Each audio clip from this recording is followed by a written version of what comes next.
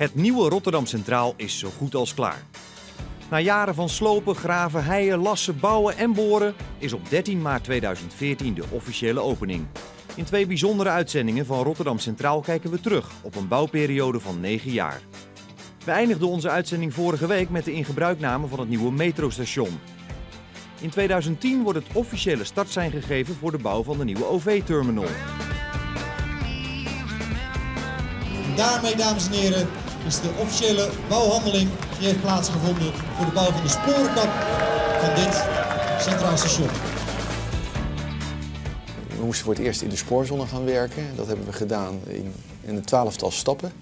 Uh, in totaal zes keer 26 weken, dus drie jaar. Uh, waarin we in de eerste stap gedurende zeven weken de oude stationskap uh, helemaal hebben weggenomen. Op een perron de fundamenten en de staalconstructie voor de sporenkap hebben gebouwd en het hele perron hebben vernield. Voor ons was het belangrijk dat het, het station en, en, en met name de perrons, dat het een interieur zou worden. Dat je daar nog steeds in de stad zou zijn, in het station zou zijn. En dus uh, was het, het maken van een grote overkapping boven die sporen was, was essentieel. En uh, ja, daar was de constructie die we uh, bedacht hebben. Ja, je zou kunnen zeggen een soort kassenbouwconstructie met houten liggers, een hele geschikte voor.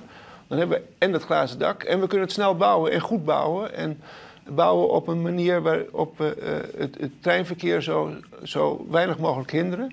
Wat het belangrijkste is natuurlijk bij het bouwen van zo'n station, en zeker bij het herbouwen van een bestaand station, dat je tijdens de bouw met die treinen door moet kunnen rijden. En dat kon met deze glazen constructie kon dat heel goed.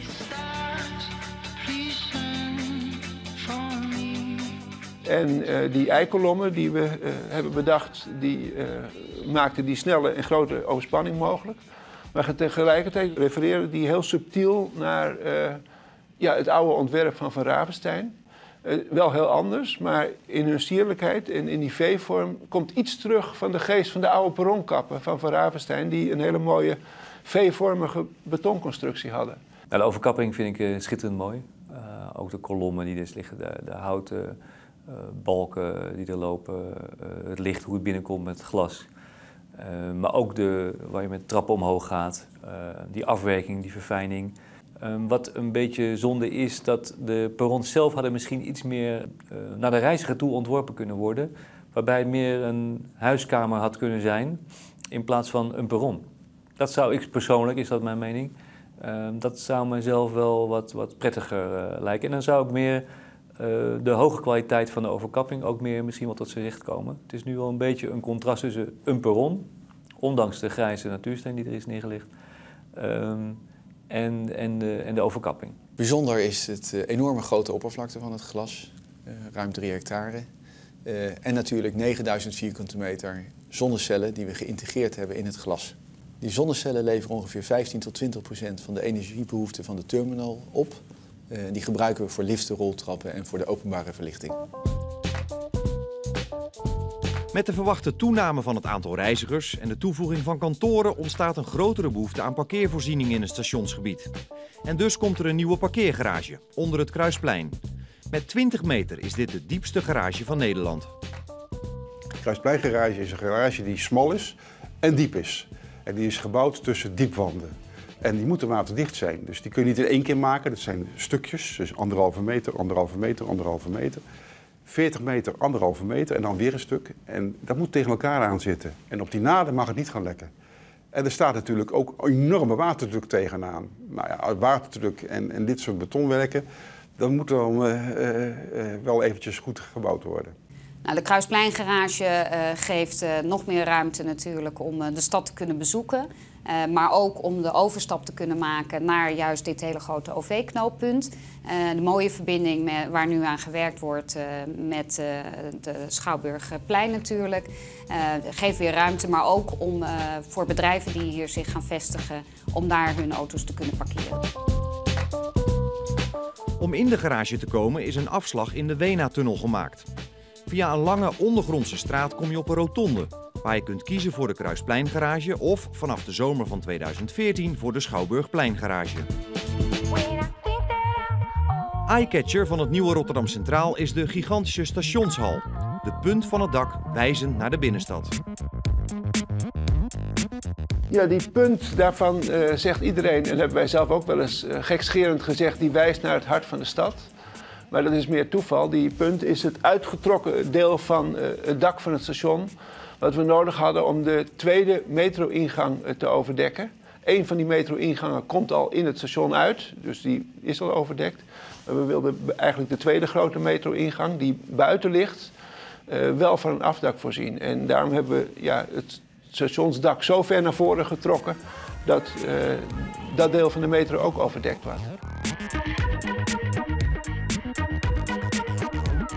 Architectonische waarde van het station uh, moet je bekijken op, op de, de, de situatie zelf, uh, denk ik. Dat, dat is een aspect. En dan is het heel interessant dat het station uh, zich heel goed verhoudt tot het groothandelsgebouw wat er staat uit de jaren 50. Een heel mooi gerestaureerd gebouw op dit moment. En natuurlijk ook het Nationaal Nederlander gebouw, waar twee contrastgebouwen zijn. De ene is heel glad, slik en anoniem en donker. En het Groenlandsgebouw heeft veel meer schaal, maat en tactiliteit. Dat ook wel echt wel een, stoer gebouw is. En ik denk dat het station zich daar heel mooi tot verhoudt. En eigenlijk wilden we het station helemaal niet zo ver naar voren trekken, want wij vonden juist dat het station zo ver mogelijk naar achter moest liggen om een zo groot mogelijk stationsplein te krijgen. Een stationsplein wat eigenlijk zo ver doorliep dat ook de Delftse en de Konradstraat op dat stationsplein zouden aankomen. Als het metrostation in gebruik is genomen en de werkzaamheden rond het spoor op voldoende afstand worden uitgevoerd, kan worden gestart met de bouw van de stationshal. Een stalen casco vormt de basis van de hal. Er stond een tijdelijk station voor de deur. Er werd een metrostation gebouwd. En dan moest je op een gegeven moment zo'n hele grote hal met hele grote balken komen. En daar heb je ruimte voor nodig. Nou, die ruimte die was zo beperkt dat je daar zelfs een hele grote bouwkraan voor nodig hebt gehad. De grootste van Europa. Om hem over het tijdelijk station heen zeg maar, te gaan, gaan bouwen. Er is een hele grote betonplaat onder die kraan nodig geweest. Want anders zou die kraan uh, verzakken. Dus om een gebouw te bouwen heb je een kraan nodig. En om een kraan neer te zetten moet je weer een betonplaat maken. Ja, dat zijn toch zaken die wel redelijk uniek zijn. Eh, het lastigste punt is dat de veiligheid, dat de reiziger door een bouwproces heen loopt, terwijl er een enorm bouwproces plaatsvindt boven het hoofd van die reizigers. Veiligheid, dat is het lastigste punt. En geen ruimte hebben. In het ontwerp van het station zijn door de architect ook de invulling van het stationsplein en het kruisplein meegenomen. Vanuit het station loop je via een rode loper van natuursteen zo de stad in. Ja, wij wilden aan beide kanten van het station een zo goed mogelijke uh, entree tot het station hebben. En ja, eigenlijk dat openbare karakter van het nieuwe stadsplein waar het station geworden is, zo ver mogelijk uittrekken. En uh, daarom wil, hebben we aan uh, de, de, de stadskant eigenlijk dat nieuwe stationsplein laten beginnen aan, de, ja, op, op de Kruiskade. door het hele Kruisplein bij dat station te betrekken. En zo doen we dat ook aan de provenierszijde, waar we uh, de stad ook opnieuw willen inrichten met meer groen en meer water, passend uh, bij de sfeer van uh, de provenierswijk. Het Kruisplein is natuurlijk best een vitale schakel tussen de receptie die het station eigenlijk is en de rest van de stad. Ja, nadat je dus vrijgehaast die de trein uit komt, is het een plein waar je even kan vertragen. Ook de inrichting van het plein moet daaraan uh, voldoen. En een keuze kan uh, maken welke richting je uit gaat. je kunt rechtsaf gaan, dan ga je het Oude Westen in. Je kunt rechtdoor gaan, dan ga je naar het culturele cluster toe, rondom het museumpark. maar je kunt ook linksaf gaan en dan kom je in het shoppingcentrum van Rotterdam terecht. Wat heel belangrijk is voor het Kruisplein, dat er heel snel grote bomen komen staan met heel veel bladeren. Want het zijn wel de, niet, laat ik het zo zeggen, netjes zeggen, niet de mooiste gevels van Rotterdam eh, als je binnenkomt. En het zou fijn zijn als je onder een bladerdek uh, verder de Maurits uh, weg op kan en de Singel langs kan lopen. Dat vind ik nog wel een beetje een probleem. met de hele mooie gebouwen die er staan, als het station, het Groot Handelsgebouw en het Nationaal Nederlandergebouw, vind ik dan toch wat er ehm, dat vind ik toch wel een afbreuk. Dus ik denk dat er snel wat aan gedaan moet worden. Er zijn plannen voor, maar de, de, de gevels van het Kruisplein, uh, daar moet snel wat aan gebeuren.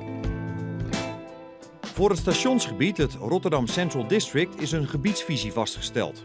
Hierin staat precies omschreven hoe het gebied moet worden ontwikkeld. het moet veilig zijn, het moet comfortabel zijn. Het moet eigenlijk tegen je zeggen dat je welkom bent. En eigenlijk is er nog iets wat belangrijk is. En dat is dat op deze plek eigenlijk ook in een nutshell zichtbaar wordt wat Rotterdam voor een stad dus is.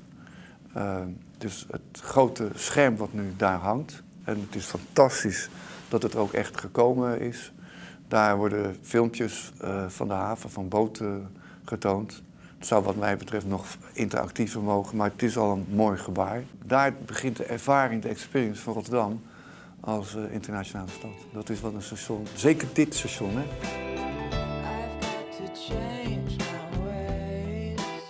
Met de komst van een nieuw station wordt ook de belangrijkste verkeersader van het gebied, het Wena, onder handen genomen.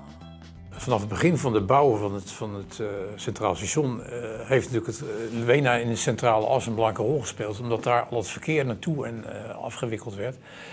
maar op het moment dat je gaat bouwen, moet je ook al aan, daar wat aan gaan doen. En dat betekende dus dat je bijvoorbeeld de trams, daar moest je al mee gaan, gaan schuiven. Het eerste, allereerste wat we hebben gedaan in feite in de buitenruimte is de tram verleggen die vroeger op het stationsplein halteerde. Dus dat was al de eerste stap die we moesten zetten met invloed uh, op het Wena. En vooruitlopend hebben we dus ook al een onderheide plaat moeten maken, vooruitlopend op de bouw van de Wena-tunnels. Dus dat waren allemaal stappen die allemaal uitgedacht moesten worden om uiteindelijk het, eh, het resultaat wat we nu hebben te, zichtbaar te maken. Nou, de belangrijkste maatregel was van, we beginnen met het bouwen van de Wena-tunnel toen we die gebouwd hadden, hadden we de levensader door de stad heen gecreëerd. Alle auto's die gingen onder de grond door als ze zeg maar, deze bouw, dit bouwgeweld willen passeren. Een tweede maatregel die we gedaan hebben, is dat we een tijdelijke route gecreëerd hebben hier op de Kruispleingarage. Daarom kunnen we de Kruispleingarage op het dak ook nog niet helemaal afbouwen, omdat die weg er nog ligt daar. Die kan er, moet er liggen zolang we het Wenen niet helemaal klaar hebben. Nou, vervolgens als je de tram gaat verleggen, krijg je allerlei riolering, kabels, buizen in je handen. Uh, het, verkeer moet natuurlijk gaan schuiven in allerlei tijdelijke oplossingen. En uiteindelijk zijn we toe gaan werken uh, via allerlei stappen naar de eindsituatie zoals die er nu is. En dat is eigenlijk een compleet nieuw WENA met onderdoorgaand uh, verkeer, doorgaand verkeer. alleen bestemmingsverkeer gaat nog, nog bovenlangs. En ja, het is in feite een prachtige boulevard van de stad geworden best wel veel overlast gehad van alle werkzaamheden welke moesten plaatsvinden. Met name veel geluidsoverlast. Uh, en ten tweede moeilijke bereikbaarheid en een onaantrekkelijk uitzicht. Uh, decor voor een uh, vijfsterrenhotel. Ehm, compliment voor de gemeente die altijd hun best heeft gedaan om ons goed op de hoogte te houden in de communicatie naar het hotel toe wat er allemaal moest gebeuren. Maar ja, ook als het slecht nieuws was, het werk moest gebeuren.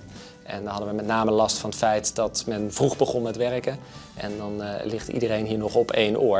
En dat is natuurlijk wel lastig te verkopen. Als het stalen casco van de stationshal is voorzien van glazen gevels en een RVS-dak, wordt gestart met de afbouw van de hal. Overal zie je dat het plafond verder afgewerkt wordt met het hout wat er tegenaan is uh, getimmerd. Er worden daglichthappers aangebracht in het, uh, in het dak, waardoor het daglicht in de stationshal kan komen. Je ziet hier een kale betonvloer. Daar gaat in de komende periode ook natuursteen opgelegd worden.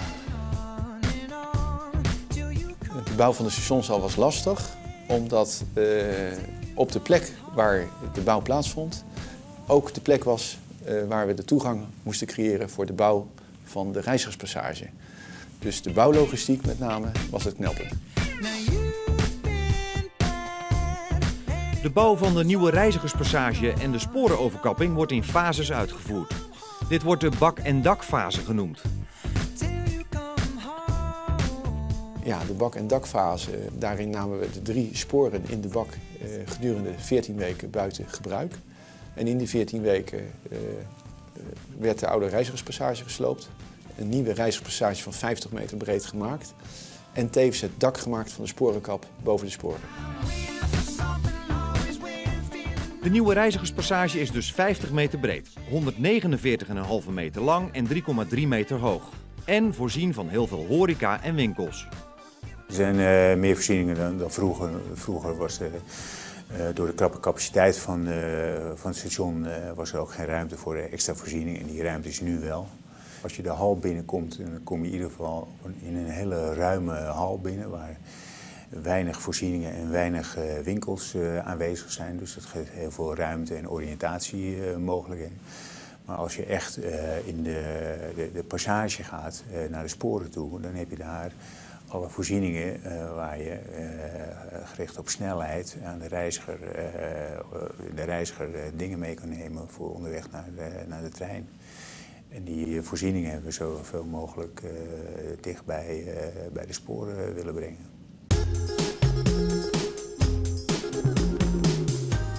we hebben stress gehad uh, toen wij uh, het tijdelijk station uh, moesten verlaten en moesten overgaan naar de nieuwe reizigerspassage. Dat is een eerste indruk, die krijg je maar één keer, die moest goed zijn. En uiteindelijk is die in november 2012 tot stand gekomen. 3, 2,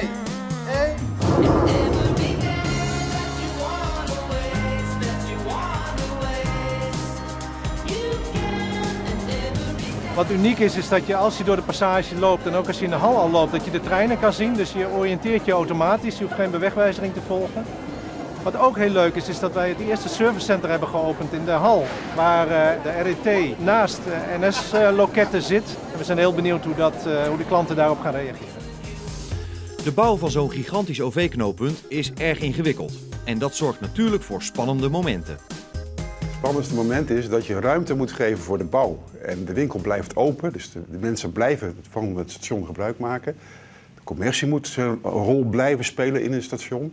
Dus je moet ervoor zorgen dat elke bouwer de ruimte krijgt om te kunnen bouwen. En elke reiziger moet veilig kunnen blijven lopen langs de kortste routes. Wij noemen dat olifantenpaden. We liepen dwars door de bouwprocessen heen. Volgens mij is het continu voor het team stress geweest om alles goed te laten lopen. Maar voor mezelf had ik toch wel het moment dat er een lek kwam in een van de damwanden. En het water met zand binnenstroomde in waar we toen met de metro aan het graven waren. Nou ja, en we de telefooncellen die er toen nog stonden vlak voor het groothandelsgebouw zo naar beneden zagen zakken. En een van de echt heel uh, spannende was toch ook wel het moment dat wij het, het grote, de grote hal moesten aansluiten op het sporendak van ProRail op precies het uitgerekend moment dat, dat, dat daar uh, geen treinen konden rijden. Die waren al jaren van tevoren was dat geregeld. Maar dat moet toch wel kloppen. Als een van de laatste onderdelen van het nieuwe Rotterdam Centraal wordt ondergronds een fietsenstalling gebouwd. Met plek voor meer dan 5200 fietsen, waarvan 1430 bewaakte plekken. We hadden al een wand uh, van het metrostation, we hadden al een wand van uh, de, de Wenertunnel. Ja, wat is dan makkelijker om er twee wanden bij te zetten? Dan heb je er vier en dan kan je onder de grond voor de deur, waar je met je fiets helemaal bij de trein bijna kunt komen, de stalling te maken. Alle fietsen onder de grond, je bent ze uit het zicht kwijt. Je hebt een perfecte oplossing gecreëerd, ook voor de fietser. Hij fietst naar, naar de stalling toe en je kan je fiets plaatsen daar waar je met je trein verder gaat.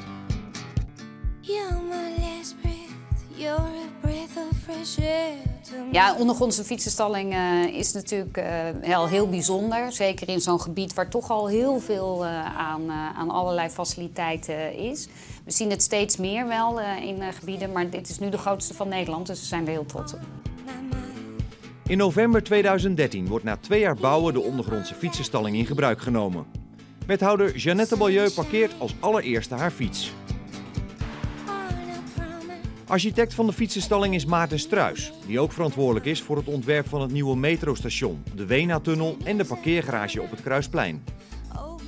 Waar ik uitermate tevreden over ben, zijn deze twee lichtwanden. Het zijn eigenlijk vluchtgangen die erachter zitten, maar die hebben we van glas gemaakt met licht daarachter, zodat we in de hoek waar we helemaal geen daglicht konden krijgen, toch een atmosfeer uh, hebben weten te maken die licht is. Het gaat allemaal over. Voel je je veilig, durf je je fiets daar neer te zetten en weet ik mijn fiets terug te vinden. Dat zijn eigenlijk de criteria. Een week later wordt alweer ondergronds feest gevierd. Ditmaal in de Kruispleingarage.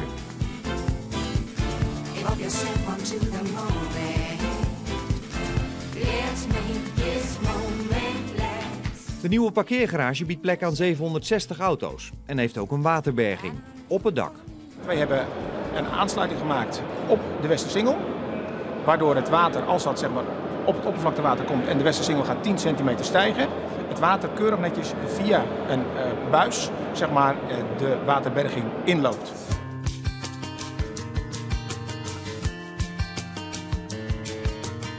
Het meest lastige is de voorbereidingsperiode geweest. Het heeft tien jaar geduurd, 2003 tot 2013. In 2005 is de bouw uh, begonnen. In 2005 zijn we ook begonnen definitief ontwerp af te ronden.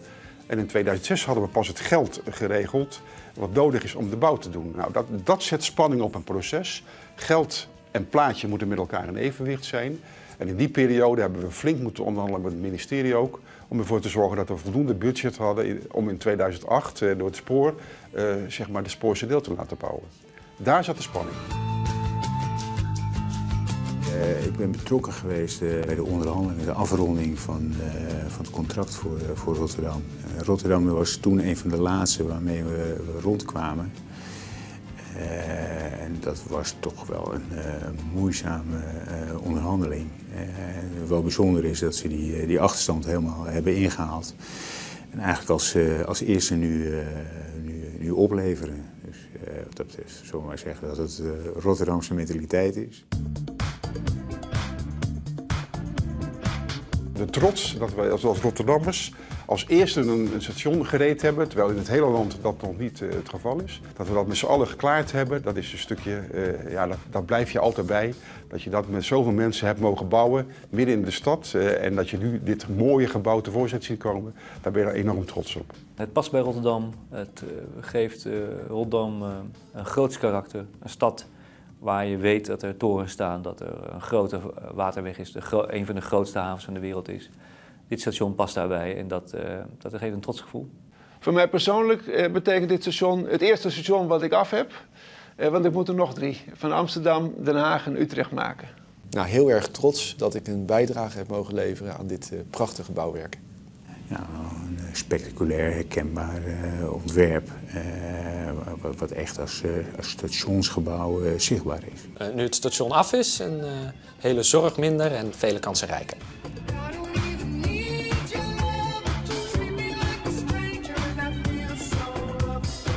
Ik heb als kleine jongen aan de hand van mijn vader door de binnenstad gelopen. Wij woonden hier niet zo gek ver vandaan vroeger.